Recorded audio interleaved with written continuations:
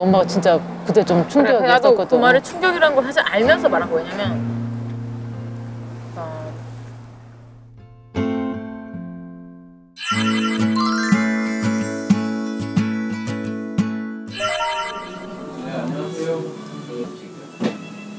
아 진짜 더워 왜 이렇게 힘드냐 여기 찾기가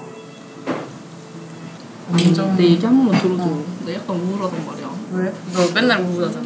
아 맨날 우울한 건 아니고 내가 그 전에 밖에서 잤잖아 그래가지고 엄마가 뭐 뭐라 하더라고 야, 너는 외박이 아예 안 되잖아 응. 좀 짜증나잖아 난 못 살겠어. 못 살겠어 그리고 그리고 친구랑도 안 된다고 하니까. 그래 그거 그거 약간 오버야 아, 그거 나 너무 진짜 내 삶에 불행해. 내 삶에 불행해.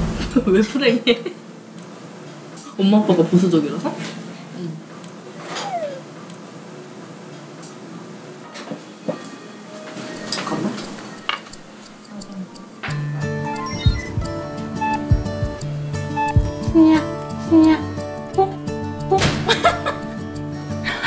어떻게 했어? 혼자 왔어?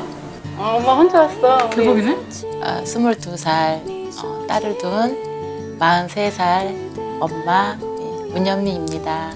우리 승희랑 좋은 시간 가지려고. 어? 예린이는? 예린이? 아 뭐야?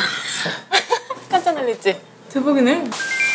근데 엄마 여기 가로수 길을 처음 왔어? 처음 왔고 말만 들었어. 가로수 길이 어떻게 생긴지도 몰랐거든.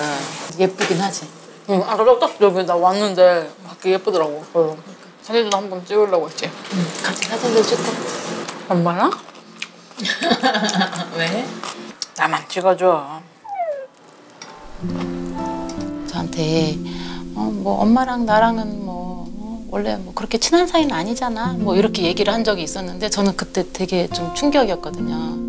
엄마는 내 감정도 모르고 나를 생각을 안 한다. 어? 내가 요새 얼마나 힘이 드는지 그때 이후로 조금은 좀 소원했었어요 사이가.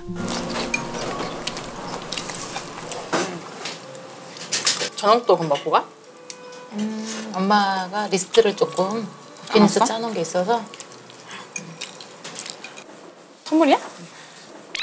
커플티 입으면 좋을 것 같다 하는 생각이 있어가지고 엄마 이런 거 좋아해? 이런 거 안 입잖아. 엄마 이거 좋아해. 진짜? 응. 대박.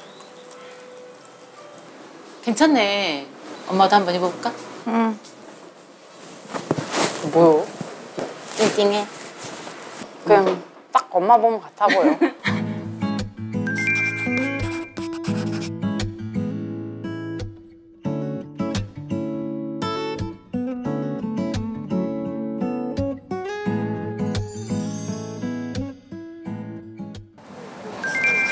엄마 이렇게 칵테일 처음 먹어봐. 진짜? 어, 한 번도 안 먹어봤어.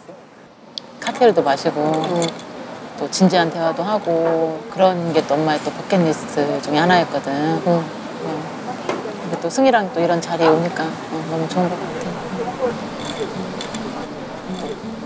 혹시 승희야 생각나? 한 1, 2년 전인가? 네가 엄마한테 그랬거든.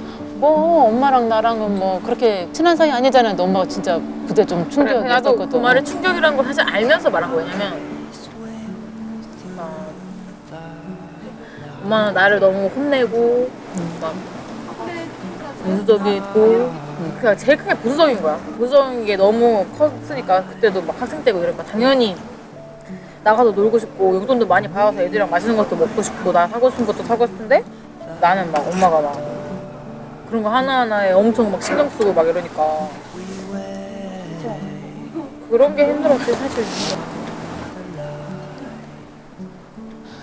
엄마는 어려서 이제 아기를 낳으니까 아, 저 쟤네 엄마는 어, 나이 어린 상태에서 아기 낳더니 애, 아유 애가 뭐 버릇이 없네 막, 막 그런 소리를 들을까 봐 너를 알다시피 엄마가 엄하게 키웠잖아. 네가 엄마 되게 무서워하고. 근데 엄마가 그때는 진짜 좀 잘못 생각한 게 있었던 것 같아.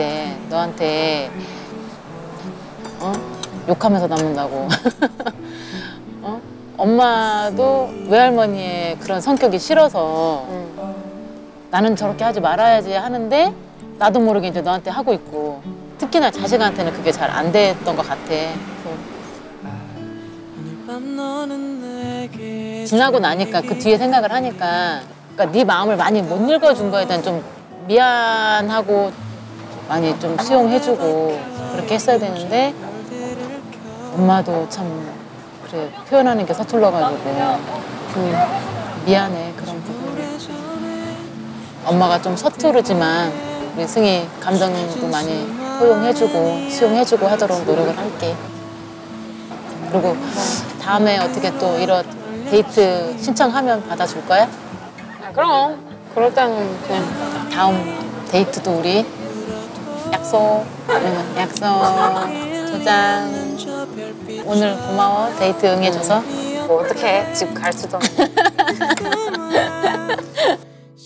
이런 기회를 만들어줘서 너무 고맙고 빨리 취직해서 엄마 맛있는 것도 사주고 좋은 데도 많이 데려가고 동생들도 내가 용돈 주고 다 할게. 많이 미안하고 사랑해